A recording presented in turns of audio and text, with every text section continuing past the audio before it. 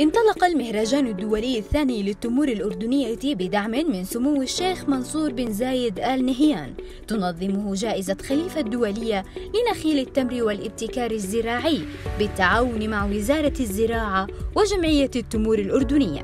وأكد معالي وزير الزراعة المهندس إبراهيم شحادة أن المهرجان حقق قفزة نوعية في دعم وتطوير التمور الأردنية. ويهدف المهرجان إلى دعم قطاع إنتاج وتصنيع التمور بالأردن الذي توليه الحكومة رعاية خاصة وتسويق التمور الأردنية وتبادل الخبرات وتوثيق الروابط بين المزارعين ومنتجي ومصنعي التمور داخل وخارج المملكة وتحديد المشاكل التي تواجه إنتاج وتصنيع التمور ودراسة الحلول المقترحة لها. أولا هذا المهرجان مهرجان يلامس قيمة أساسية من قطاعنا الزراعي اللي هي قطاع التمور ونشر زراعة هذا التمور أحد أهم أهداف هذا المهرجان. أيضا نشر القيمة الاقتصادية لهذه السلعة اللي إحنا نفتخر بأن مزارعنا يقدمها بشكل مجد ومجتهد.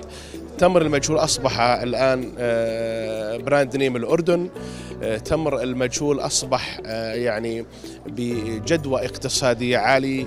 ونحن من خلال هذا المهرجان نحاول أن نستغل استغلال أمثل لمواردنا الطبيعية بمثل هذه الزراعات خاصة في حينما نتحدث عن أنه استغلال الأمثل للموارد الطبيعية يلامس احتياجات هذه الشجرة من قلة المياه وكذلك الأمر المياه المالحة والتي نستطيع نشر تقنات هذه الزراعة آه، عليها بإذن الله. هذا القطاع آه، يضم آه، حواليا حوالي 200 مزارع من مزارعين النخيل المحترفين الذين ينتجون آه، صنف المجهول والبرحي الأردني الذي أصبح مطلوبا في السوق العالمية. هذا هذه المناسبة اليوم للإعلان عن المهرجان الدولي الثاني. هي عبارة عن إشارة البدء للتحضير لهذا المهرجان الهام. الذي سيساهم في الترويج وفي تسويق التمور الأردنية في الأسواق العالمية أيضا سيساهم في تنظيم عقود ما بين المزارعين وما بين آه، آه، الشركات المستوردة في السوق العالمي الذين سيتم استدعائهم.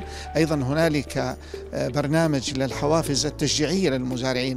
هنالك جائزة لأفضل مزرعة هنالك جائزة لأفضل منتج من المجهول. هنالك جائزة لأفضل بحث علمي في مجال التمر في الواقع هذا مهرجان وليس مؤتمر والمهرجان آه، يشمل عدة فعاليات وكل مهرجانات العالم في أي مكان في الزراعة وغير الزراعة هي عبارة عن عملية تنشيط وتشجيع الموضوع اللي يقام من المهرجان.